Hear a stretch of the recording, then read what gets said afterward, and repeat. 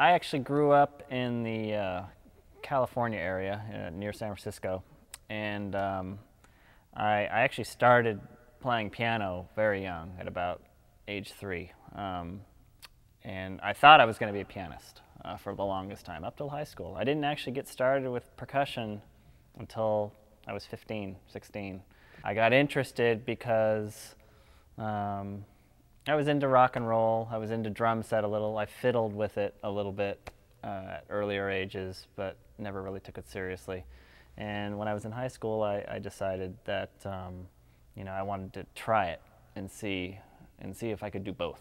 So I started studying with uh, Anthony Cirone, who was back then in the San Francisco Symphony, and a little bit with Barry Jekowsky, who was a timpanist back then, and got involved with youth orchestras, San Francisco Symphony Youth Orchestra, and once I got into that and had some success, um, it sort of got me more and more interested, and the piano became less for me, um, which upset my family, but uh, made me happy.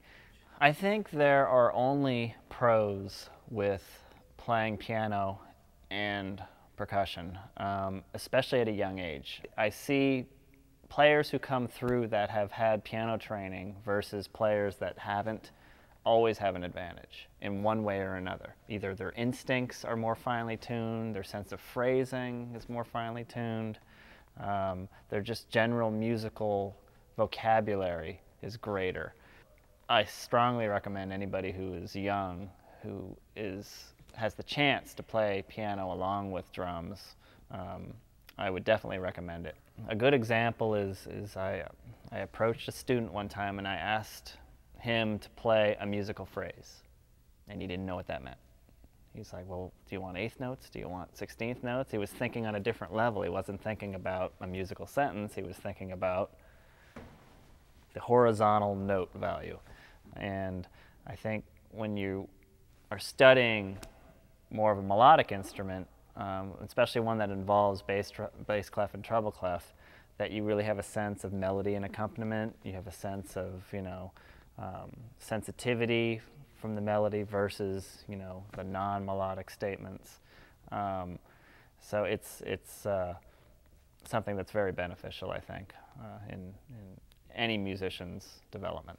I actually had decided that I was going to become a great snare drummer uh, my first year of college, and that's mainly what I practiced. I practiced about five hours of snare drum every day, and and most of it was soft playing. Um, and I and I really had a list of of things that I would play. Three camps I played for three years. Um, and I had it from 30 to the quarter note to 210.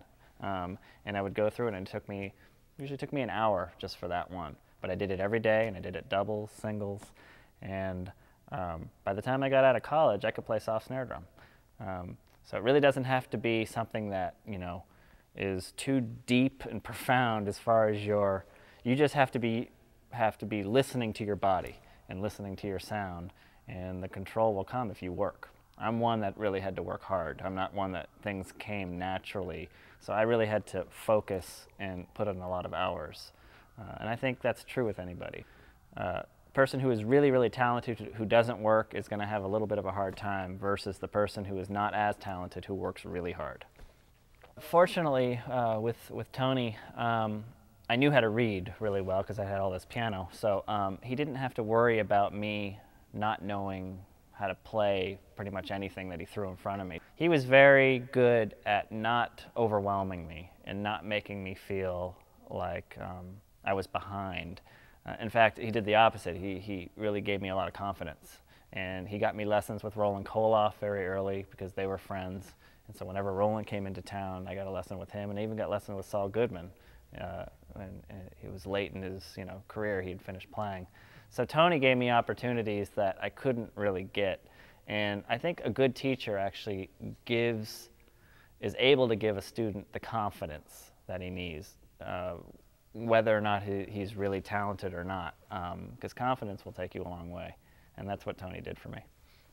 Saul was very um, extroverted, I have to say. His whole approach to the instrument was um, one that I had never really seen before. He, he, was, he was such a master at, um, you know, achieving the right kind of sound and his rhythmic intensity was was um, second to none.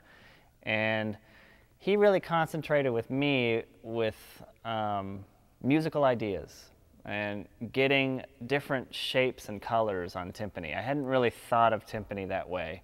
I just thought, you know, rhythm and in intonation were important. But he started getting me to think about uh, different colors you can get, um, different ways of articulating, um, ways different mallets can work for you or against you.